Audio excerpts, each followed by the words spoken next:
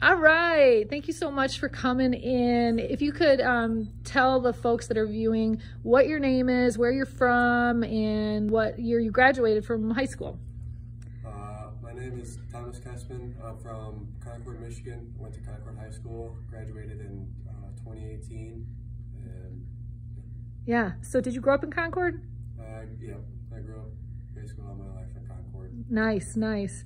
And did you enjoy school, high school, middle school? And did you, how did you feel about it? About Yes and no. I mean, school wasn't always my favorite thing, but um, you know, kind of sports kind of helped through and made it a lot easier and everything.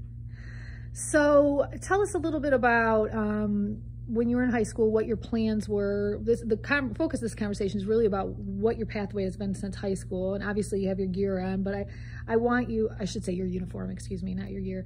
But um, I should because I want to be respectful.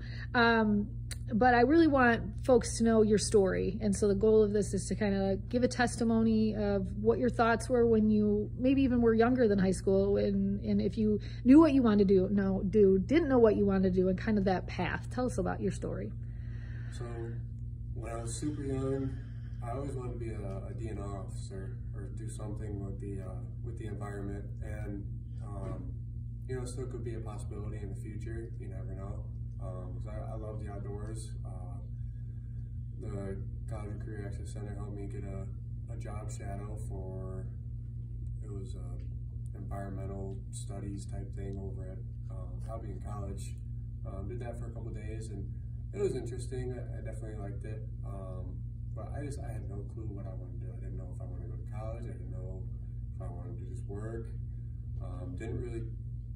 The only really thing I knew I wanted to do is I wanted to run cross country at the time. Um, I wanted to run college and um, just kind of took the first offer that came to me, which was Lansing Community College. They, uh, it was a full ride, and so it was, you know, so I, I got free college because I didn't know if I, how much I would like college, and so I tried it. Went for a semester and a half. Um, didn't do so well just because I didn't like I don't like school. Mhm. Um, school is not always my thing. I do much better working and learning hands-on. Um, but I got the chance to run in college, so that made me pretty happy. Um, got out of college, or dropped out of college, and started working for uh, the Lansing Lugnuts um, minor league baseball team up in Lansing, and I was the mascot for a little bit, and then also I worked grounds crew. Um, ended up going full time because I worked really hard uh, for half the summer, and they decided to put me on be an assistant groundskeeper. So I was full time, um, putting in a lot of hours, but I absolutely loved it. Nice. Um, one of my probably my favorite job to this day. Um, had so much fun just being in that atmosphere, but it just didn't fit my lifestyle Mm-hmm. more or less, and my future lifestyle, how I wanted my future to be. Um, so then uh, quit there and joined. Can, can I ask you a question about that? When you say it didn't fit your lifestyle and how you wanted your future to be, was that because, why was that? um, just because it was. So we were saying, okay, and you were talking about the um, summer position and how it was not the, uh, didn't align Yeah. with, okay. So I, you know, I've always wanted to settle down and have a, a family and a farm um, when I get older, and it just with that job, you move all over the country a lot, Mhm. um, and you're always working throughout the summer, which I loved it because I love working. It's it's, I mean, it keeps me busy. Right. and I like to stay busy. Um, but uh, I just, just that lifestyle is just super all summer. I mean, I like to have summers to myself, not to myself, but you know, be able to do some things during the summer that I just wasn't able to do. Um, still loved it. I would, I mean, I would go back Mhm. sometime if you know, even working on a golf course, just mowing every day and everything. I, I Mhm. just I love that stuff. And but after that, I went to uh, this place called Ayers Basement Systems. It was uh, construction.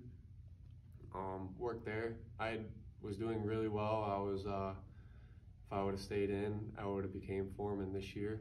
Mhm. Um, it was just it was very hard work. I Mhm. was getting paid very good money, but it was very hard work. backbreaking work and um, just something I didn't want to put my body through for the rest of my life. Mhm. I, wanted to save my body because you know I'm 21 years old. Mhm. I can't have a bad back by the time I'm 30 or something. Right. It's right. just- and uh, loved it. Loved the just the um, what's the word? I don't know. Using, like every, yeah, the, everybody, just like the um, the environment the and environment. yeah, of it, yeah. Just everybody that's with it. Uh, just good, good friends. Mhm. You make great. I made some great friends out of there. Um, then uh, Sergeant Riggs called me hmm one day, and while I was at work, and started talking to him, and uh, went in for an appointment, and just kept going through with it. I actually stopped talking to him for about a month and a half, just because I wasn't sure that that was the option I wanted. Mhm. Um, but I ended up coming back, and I uh, I left for basic training March 23rd Okay. of 2021, and um, graduated in on May 14th, and um, started learning my job as an electrical environmental.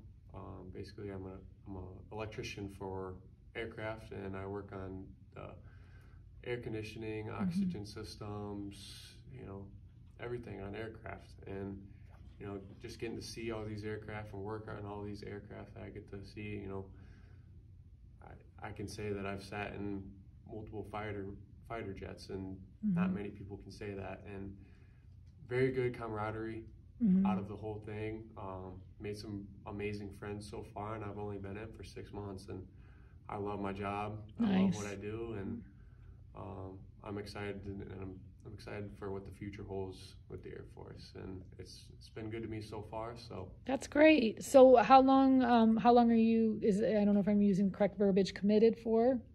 Yep. So Okay. I uh, I signed a six-year contract. You can sign a four to six-year contract.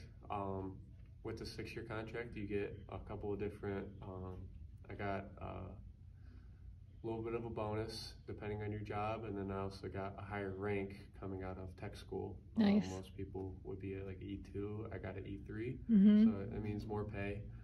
Um, and so I got six years. We'll see after that six years how long I stay in after that. If I Mhm. stay in for a full twenty, or if I get out. You know, it just depends on where I'm at with my life and at that point in time. And after the six years, um, are, are there any um, perks from being in there in terms of retirement or education? Um, so you get while you're in, you can get a.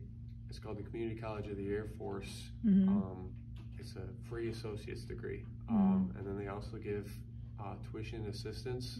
So if you want to go to college while you're in, um, you can get assistance while you're in Mhm. without using your GI Bill, and then once you get out, you have your GI Bill if you want to um, go to college after that. So, um, and then after six, there won't be.